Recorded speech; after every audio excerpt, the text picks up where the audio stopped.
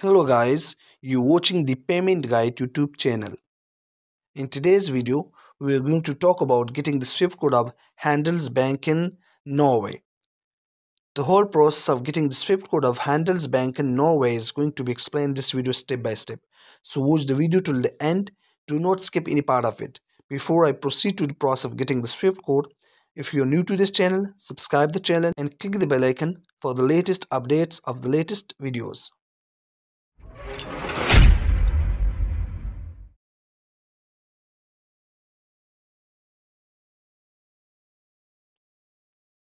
There's a link provided in the description box. By clicking the link, you will come to this page. Here you can see four boxes.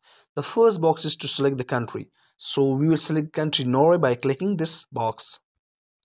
Here you can see all the countries of the world. We will search Norway by typing.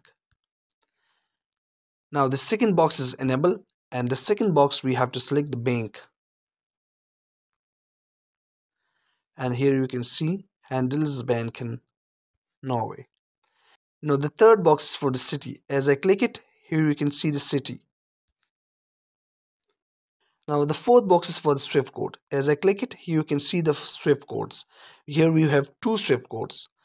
Uh, I will click the first one and the all information about the Swift code will be provided to us and here you can see here is our swift code and along with it here is the copying option. As i click it here you can see the sign is green.